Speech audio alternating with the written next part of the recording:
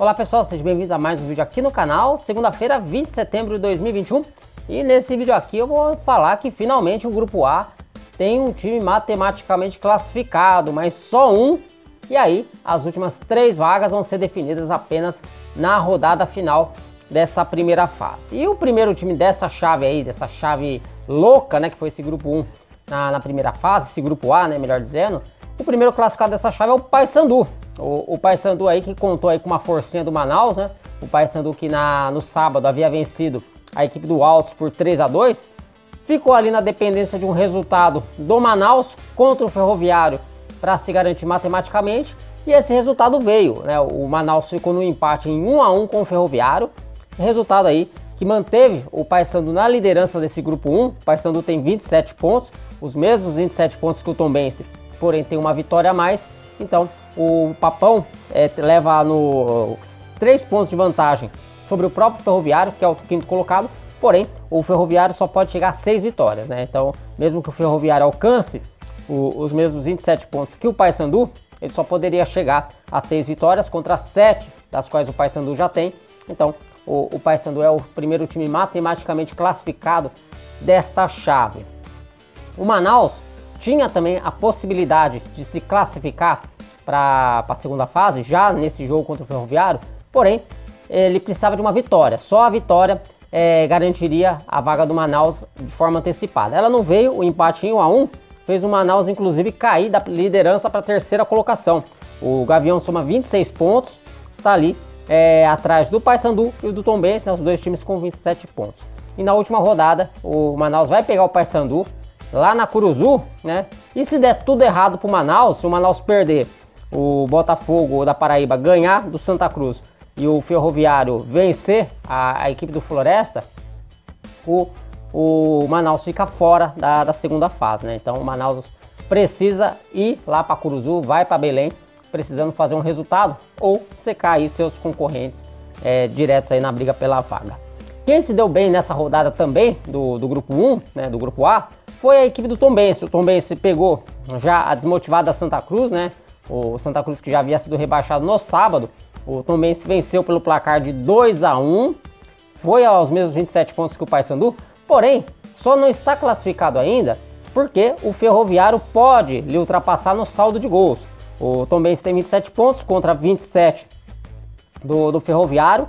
Se o Tombense perder por volta redonda na última rodada e o Ferroviário vencer o Floresta, os dois times ficariam com 27 pontos, 6 vitórias e aí a parada ia ser decidida no saldo de gols. No momento, o Tom Benz tem 9 gols de saldo contra 3 gols de saldo do Ferroviário. Então, o Ferroviário precisaria vencer o Floresta numa margem grande de gols, enquanto que o Tom Benz precisaria sofrer aí uma goleada do Volta Redonda para aí é, reverter essa, essa vantagem no saldo de gols. Então o Tom Benz aí tá com um pé e quatro dedos na segunda fase também.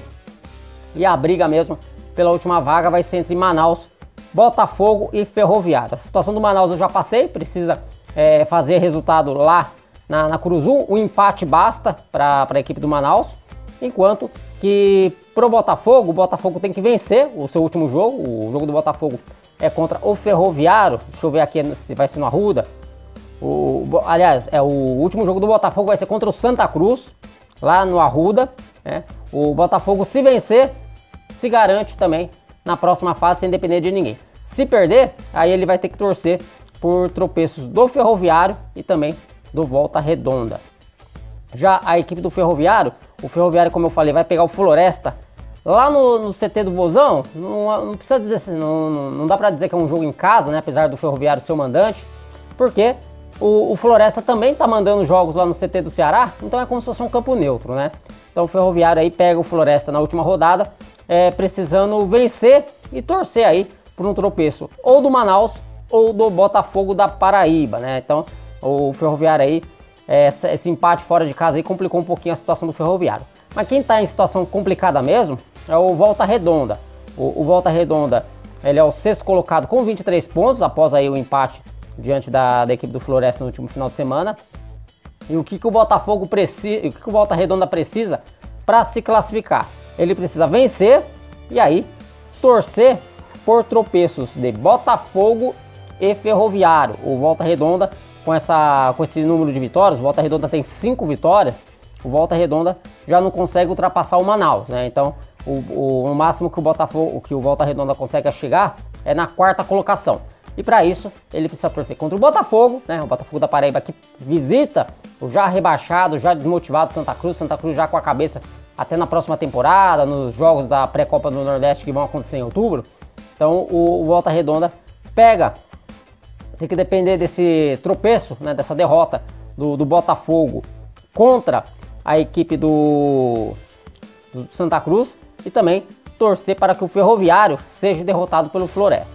O Floresta ainda tem aí uma ligeira chance de ser rebaixado, né?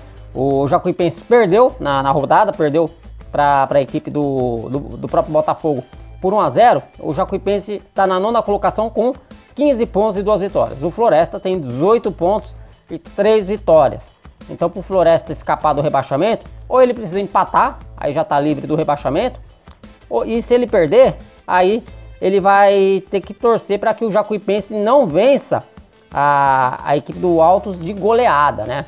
No momento, a diferença do Floresta e do Jacuipense no saldo de gols é de seis gols.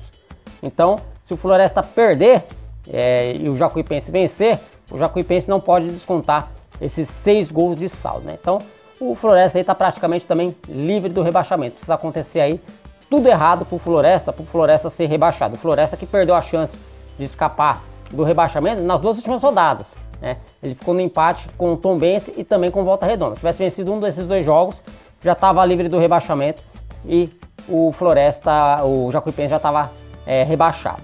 Vamos agora lá para o grupo B. O grupo B eu já fiz um vídeo no sábado, né? A maioria dos jogos do grupo B aconteceram no sábado, mas teve um jogo que ficou para domingo de manhã, que foi Ipiranga e Ituano. As duas equipes já estavam classificadas, elas empataram em 0 a 0 e esse resultado de 0 a 0 garantiu o Novo Horizontino na primeira colocação desse grupo.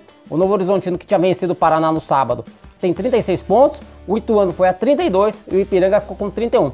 Portanto, o Grêmio Novo Horizontino já é a primeira equipe de, das classificadas até a sua posição final definida.